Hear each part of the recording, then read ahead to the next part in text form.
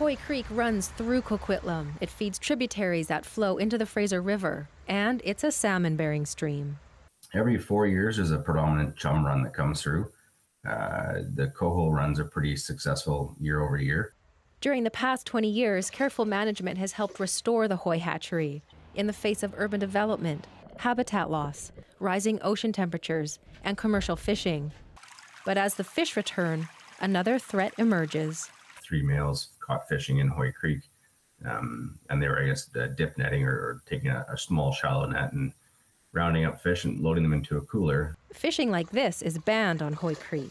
Even on the Coquitlam River, there are restrictions and limits. Otherwise, it's considered poaching. And people reporting to us, telling us as much information as possible. Like recording license plates and taking pictures, but stopping short of approaching anybody. We don't want people confronting uh, individuals because uh, violence has resulted in the past. Fines start at $575 and can climb to 100,000 for a first offense. In most cases, he says poachers are eventually caught. That's because they return. Well, you know, they may get away at one time, but they're going to do it again because they got away with it. You know, chances are we'll get them.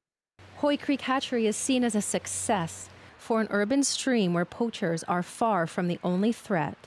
Uh, one person with their dog letting it run through a graveled section of the creek, um, and that can kill several thousand salmon in one shot. There's hope that awareness, along with enforcement, will be enough to give spawning salmon a fighting chance.